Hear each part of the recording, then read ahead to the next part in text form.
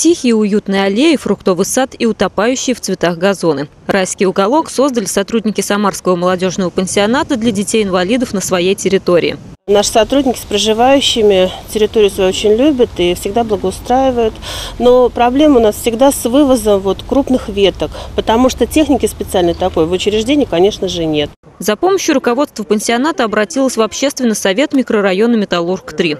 Буквально за два дня вопрос был решен. Общественники принимают заявки не только от официальных лиц, но и от простых жителей микрорайона. Чаще всего вопросы касаются благоустройства территорий.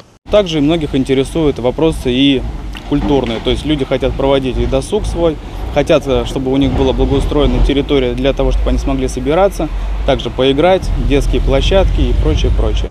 Мы пытаемся организовать турнир сейчас для детишек по настольному теннису, по шашкам, по шахматам. Будем подбирать тренеров-общественников, как было в моем детстве, и активизировать работу детских клубов. От малого к большему, от благоустройства отдельно взятого двора до порядка во всем городе. Чтобы помогать развитию Самары, формируется команда созидателей из неравнодушных людей, нацеленных работать на благополучие и комфорт в родном городе. Общими силами решать вопросы своего двора, микрорайона и города в целом. Следующим шагом в формировании новой власти в Самаре в рамках реформы местного самоуправления станут выборы в районные советы депутатов 13 сентября. Марина Матвеевна, Максим Гусев. События.